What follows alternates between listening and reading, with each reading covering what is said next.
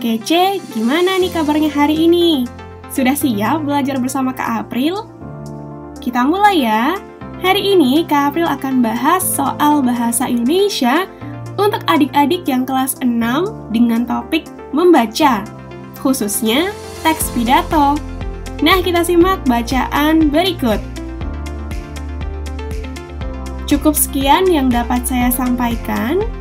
Semoga dari tuturan saya ada yang bermanfaat. Saya mohon maaf apabila terjadi kesalahan dalam berucap. Atas perhatian saudara sekalian, saya mengucapkan terima kasih. Penggalan teks pidato tersebut merupakan bagian Nah, kira-kira ini bagian apa ya? Nah, sudah tahu teks pidato itu apa? Teks pidato terdiri dari tiga bagian, yaitu pendahuluan atau pembuka, isi atau inti, dan penutup. Nah, bagian ini memiliki isi yang berbeda-beda nih.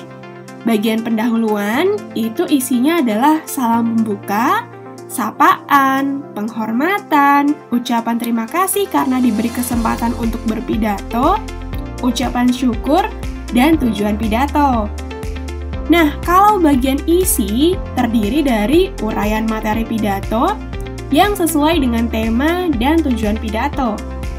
Nah, bagian terakhir yaitu bagian penutup, isinya adalah kesimpulan, harapan atau doa, permohonan maaf, ucapan terima kasih karena sudah didengarkan, dan salam penutup. Nah, coba kita lihat lagi yuk bacaannya. Nah, di sini penulis menyebutkan harapannya, ucapan maaf, dan ucapan terima kasih. Jadi, kira-kira apa nih jawabannya? Betul sekali, jawabannya adalah D, penutup. Gimana? Mudah kan ya? Kak April punya satu soal lagi nih yang bisa teman kece tulis jawabannya di kolom komentar.